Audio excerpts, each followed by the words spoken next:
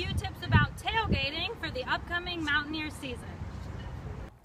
A few tips on throwing the perfect tailgate party are the night before your tailgate, you should prepare your food and pack your coolers so you have one less thing to worry about the day of.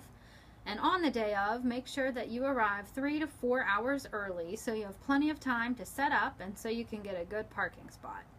Make sure you bring plenty of ice and a set of jumper cables just in case, and pack sunscreen and rain gear to be prepared for all weather.